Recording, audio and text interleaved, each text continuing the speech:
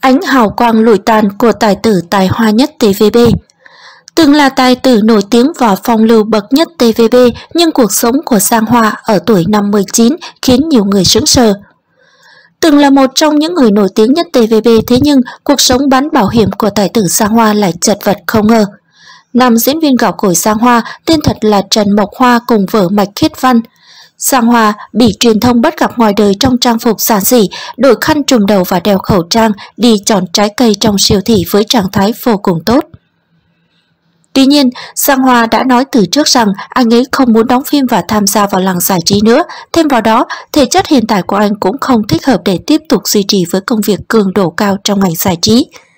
Hiện tại, vợ chồng Trần Mộc Hoa rời bỏ căn biệt thự cao cấp và sống trong một căn hộ đi thuê 7.000 đô la Hồng Kông một tháng để giảm chi phí. Nói về cuộc sống hiện tại, tài tử TVB nói, Tôi nghĩ đóng phim vất vả quá nên tôi nghỉ hưu sớm và chuyển sang bán bảo hiểm. Trước đó, Giang Hoa từng là một ngôi sao chói sáng nhất Hồng Kông Trung Quốc. Dù xuất hiện với bộ trang phục dày dòa, nhưng anh vẫn có thể toát lên vẻ khí chất vô cùng quyến rũ. Giới truyền thông từng gọi anh ấy là bản sao Lưu Đức Hoa, thực tế thì anh ấy giống một hòa tử hơn chính Lưu Đức Hoa và mỗi một hành động của anh đều mang sắc màu của một ngôi sao thần tượng.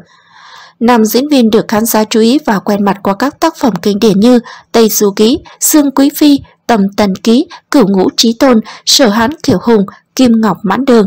Đây có thể nói đều là các tác phẩm đã đưa tên tuổi của Sang Hoa tỏa sáng một thời. Năm 1992, Giang Hoa kết hôn với ca sĩ Mạch Khiết Văn. Cả hai có một con trai và một con gái. Sự nghiệp hành thông, gia đình hạnh phúc. Có thể nói cuộc sống của Giang Hoa lúc bấy giờ vô cùng viên mãn. Tuy nhiên khi đóng, tôi có hẹn ước với Thanh Xuân, Giang Hoa lại nảy sinh tình ý với bản diễn đảng Tùy Văn. Truyền tình mặn nồng khi đó khiến đảng Tùy Văn tin rằng Giang Hoa sớm muộn cũng vì cô mà bỏ vợ. Thế nhưng, sau khi bị báo giới phanh phui, Giang Hoa lại tổ chức họp báo phũ phàng xú bỏ.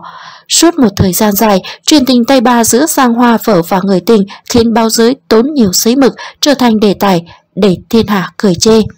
Năm 2004, anh rời khỏi Hồng Kông đến Trung Quốc đại lục với mục đích phát triển sự nghiệp. Tuy nhiên, sau phim Thị trấn Tam Nguyên, Giang Hoa gần như lui vào ở ẩn. Trong vài năm gần đây anh sống lặng lẽ, chỉ một vài lần xuất hiện tại sự kiện âm nhạc cùng vợ. Năm 2006, Giang Hoa giảm bớt khối lượng công việc vì chứng trầm cảm, chấn thương thắt lưng. Thậm chí trong những lúc hoảng loạn, anh từng nghĩ đến việc tự tử và đã có một số ảo giác. Tôi thấy những người đã chết, tôi biết đó chỉ là ảo giác nhưng vẫn cảm thấy tội lỗi. Tôi sợ mình sẽ tự tử, tôi đã sống như thế này mỗi ngày. Đến năm 2015, anh chính thức rời làng giải trí để làm việc trong lĩnh vực bảo hiểm. Mạch Khiết Văn là một ca sĩ diễn viên có tiếng, cô đã sớm rời làng giải trí, lui về hậu trường chăm lo cho gia đình kể từ khi kết hôn cùng với Giang Hoa.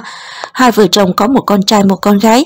Khi sức khỏe của chồng ở mức tồi tệ nhất, Mạch Khiết Văn là người gánh vác kinh tế và đi diễn nhiều để trang trải chi tiêu trong gia đình.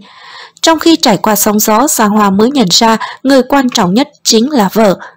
Khi được hỏi về việc có trở lại TVB hay không, Giang Hoa nói, Tôi luôn có hợp đồng cơ bản với TVB, không phải họ không muốn tôi mà bởi vì tôi không muốn đóng phim. Tôi là người không muốn gia hạn hợp đồng chứ không phải họ. Chúng tôi không còn muốn nổi tiếng và giàu có, chúng tôi chỉ muốn cuộc sống yên bình, tĩnh lặng.